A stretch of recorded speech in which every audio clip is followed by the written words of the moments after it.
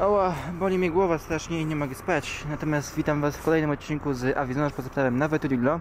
Mamy dzisiaj e, 72 odcinek z Soli poza prawem, jeżeli wszystko się zgadza, a powinno się zgadzać, ponieważ odcinek, w którym ostatni raz jechałem poza prawem, poza czasem, kiedy indziej wrzucę. Jeszcze poczekajcie. E, dzwoniłem znowu na infolinię, oczywiście powiedzieli mi, że e, no, mam problem i to, że jestem tak bardzo nietypowy, to jest moim problemem. Natomiast jak widzicie, chyba jestem która korzysta w Wetriglo. Jesteśmy na stacji Miodowa 9467, już tu kiedyś oddawaliśmy nawet, jak mi się wydaje. Jedziemy dalej teraz przez centrum i wracamy na plac y, Unii Lubelskiej, gdzie zaczęliśmy. Takie kółeczko sobie zrobimy skromne. Natomiast jeśli mam być szczery, to problem jest taki, że w moim te- telefonie Canon Z- Z5 Compact zawiesił się aparat. To jest y, taki haczyk od Google'a i Sony żeby po jakimś czasie po prostu wymienić telefon i nie działa Ci aparat, to masz to wymienić. A tak naprawdę aparat działa, tylko software'owo jest wyłączony. No i w tym wypadku aplikacja Veturillo każe mi pobrać, da, da się tylko wyrzucić przez kod QR, a ja nie mam aparatu, więc muszę zawsze podchodzić do stacji i ręcznie włączać. Mam nadzieję, że to nie będzie bardzo uciążliwe. Tak czy siak, lecimy dalej z drugim odcinkiem, z drugim oficjalnym odcinkiem w 2020 roku. I zaczynamy. Sztuczka jak e, szybko pożyczyć przez aplikację, przez stację rower. Proste. Podchodzimy do stacji, przykładamy e, wypożycz sloty, przykładamy telefon. Proszę bardzo. I teraz czekamy aż wpiszę swoje kody i dziękuję bardzo, zapomniałem jak się nazywa rower. Ale żebyście wiedzieli, że nie kłamię, to powinno zaraz czytać. Ok. I to było coś z dwójkami. 26029.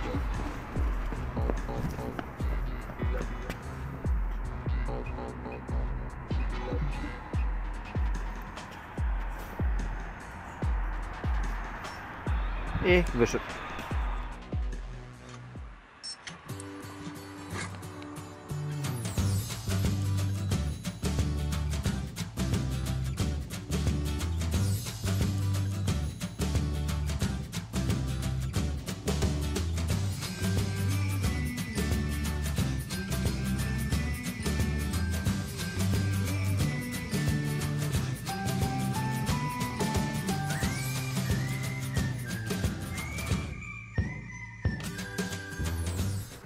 Witam Was tutaj, cześć Czamzosz. Zapraszam Was na 71 odcinek z Awizonaż poza prawem nawet Rillo. Zaczynamy z naszej standardowej stacji Miodowa i parę słów jeszcze ode mnie z odcinka, tutaj teraz słyszymy. O, chwila. GPS się nie włączył jeszcze. Nie macie prędkości. To byłoby dobrze włączyć.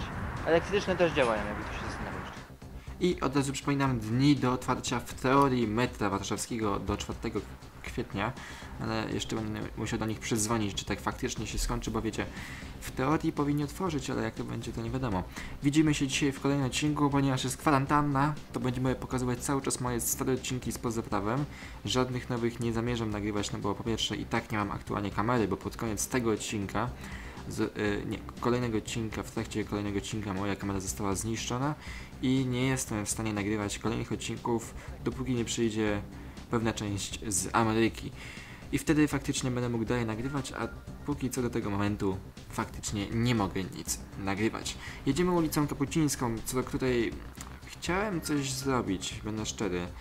Ta ulica jest naprawdę dosyć jedną z tych ciekawszych, ale jest o niej na tyle mało informacji, że mogę tylko powiedzieć, że jest asfaltowa i jest drogą poprzeczną dla rowerów. I już wjechaliśmy na naszą czy inaczej trasa WZ, a w tym miejscu to jest akurat Aleja Solidarności. Jeszcze zanim do tego przejdziemy, tylko wam powiem, muzyka w tle, która gra, jakbyście byli ciekawi, to to jest muzyka z... E, to jest muzyka z Radi, z Ratchet Clank A Crack in Time. Tak, nie pamiętam koniec teraz, która jest z czego, ale mniejsza z tym. Jedziemy Aleją Solidarności. E, czyli ta trasa, która przejeżdża pod Starym Miastem, tym dosyć ciekawym tunelem, o którym dzisiaj nie będę mówić, jak będziemy nim jechać, to opowiem trochę więcej na temat tego tunelu. Dalej e, przejeżdżała się naszym e, mostem, co też jest dosyć ciekawą rzeczą, bo tutaj jest dosyć dużo ciekawo, ciekawostek co do tego mostu i tego wszystkiego, jak tam przejeżdża. I co najważniejsze, jak już przejedzie to wszystko w tym miejscu, to ten tramwaj, który jeździ na właśnie trasie WZ, tutaj właśnie w tym rejonie, dlatego tutaj nie ma tego miejsca, e, to miał być tylko chwilowy, do czasu, kiedy zostanie wybudowana pierwsza linia metra e, tego jeszcze historycznego, które nie powstało, metro głębinowe pod właśnie Starym Miastem i właśnie z węzłem przesiadkowym na stacji Próżna. E, przepraszam, plac teatralny. I właśnie taki był pierwszy pomysł, natomiast Próżna to miała być Świętokrzyska. Natomiast tak miało powstać, natomiast jak widzicie, ile tych natomiast teraz tutaj wkleję, ja nie mogę. E, nie jak może zauważyliście, nie ma tego metra i tramwaj pozostał. On miał być tylko chwilowo wybudowany na tej trasie mostu, no ale ze względów technicznych i po prostu tego, że ten tramwaj naprawdę jest dzisiaj nieźle używany i nie ma tego metra, jak ono miało tam konkretnie powstać, no to faktycznie nic nie powstało. Tu się zastanawiałem, czy nie zjechać, czy coś nie wykręcić, ale ostatecznie jechałem całą trasę prawie, że ulicą. Dobra, przechodzimy dalej e, do ważnej rzeczy co do Alei Solidarności. Numeracja domów to jest od 15 do 165. Długość to jest, jak na nasze odcinki, to jest długa ulica, bo jest 6,5 km. E, okres powstania to jest od 1947 roku do 1949 roku. No i tak. Ważna aleja biegnąca w kierunku wschód-zachód pomiędzy Radzymińską a Wolską o długości około 6,5 km całkowicie przebiega trasa WZ i jest oznaczona jako droga wojewódzka nr 629. No ma więcej na historii na temat tej części. Powstanie Alei Solidarności wiąże się bezpośrednio z powstaniem trasy WZ, jednej z najważniejszych inwestycji drogowych powojennej Warszawy. Wybudowano ją w latach 1947-49, a oddano do użytku 22 lipca 1949 roku. No, wtedy osoba się urodziła. I to jest 10 lat po rozpoczęciu wojny.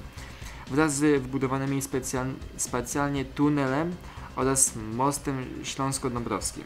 Aleja e, po, pobiegła od skrzyżowania z Młynarską i Wolską aż do ulicy Radzymińskiej.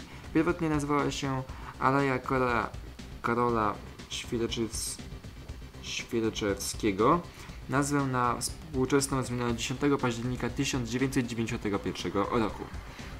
Współczesny, współczesnym jej patronem jest NSZ Solidarność, og- ogólnopolski związek założony w 1980 roku, który przyczynił się do zmiany demokracji w Polsce. No ale o tym chyba nie muszę mówić, bo chyba każdy z was wie, co jest właśnie co do naszej Solidarności. Dobra, przejdźmy bardziej do trasy WZ. Tak jak mówiłem wam, to jest tak potocznie zwana WZ, trasa, trasa wschód-zachód, dlatego jest skrót WZ. E, Istniejący ciąg komunikacyjny przebiegający przez Wolę, Śródmieście oraz Pragę Północ o łącznej długości 6, 6 km, 6760 metrów stanowi fragment drogi wojewódzkiej nr 629, a praktycznie całą trasą nosi nazwa Aleja Solidarności. No i tak, historia. Trasa WZ była jedną z pierwszych i największych inwestycji komunikacyjnych powojennej Warszawy lat 40.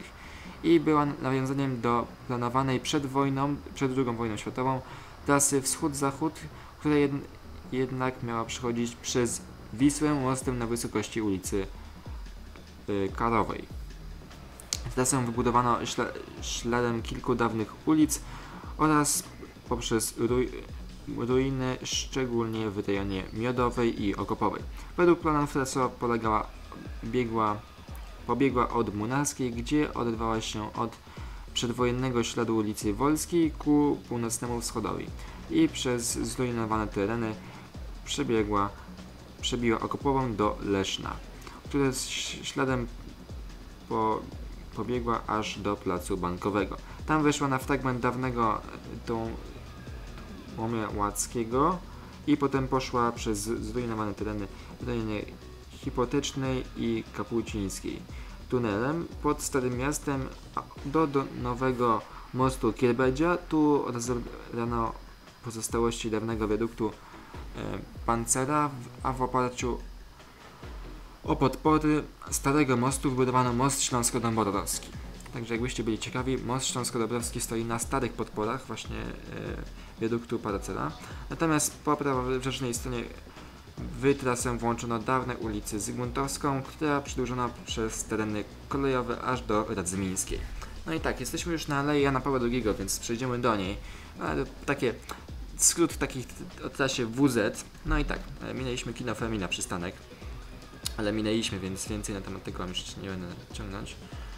Teraz tak, Chrome się, Firefox się trochę wiesza, jak jest dużo kart w małym oknie, ale mniejsza z tym. Ale Jana Pawła II. Y, okres powstania to jest właśnie 1952, 1959, czekajcie, 1952, czyli jest dużo nowsza od y, tamtej ulicy.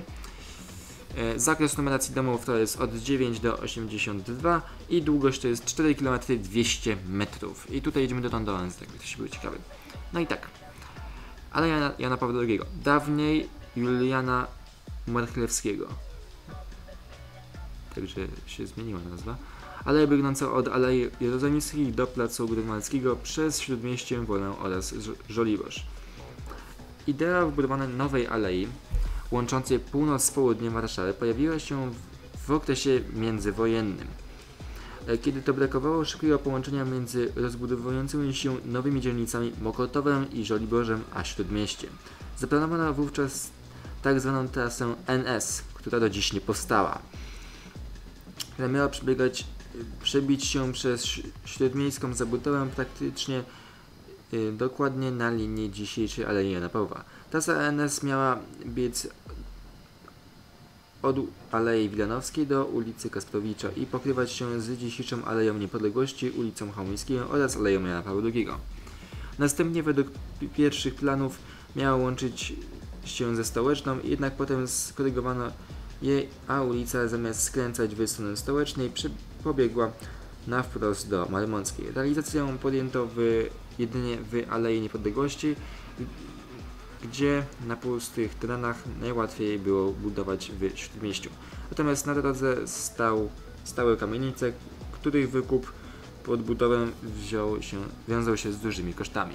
Ogromne zniszczenia, jakich doświadczyła Warszawa w czasie II wojny światowej, paradoksalnie otworzyła ogromną szansę zrealizowania przedwojennego projektu trasy NS. E, znikome koszty wyburzenia połączenia z pełną nacjonalizmu gruntu stolicy umożliwi umożliwiło szybkie zrealizowanie nowej arterii.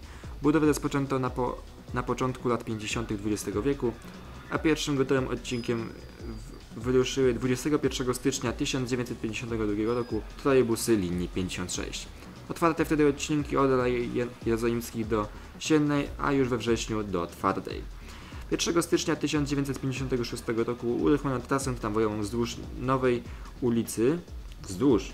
Pojechały nią wówczas tramwaje linii 16, 16, nie mam takiej teraz linii, 24, 27, 29, takiej też nie mam.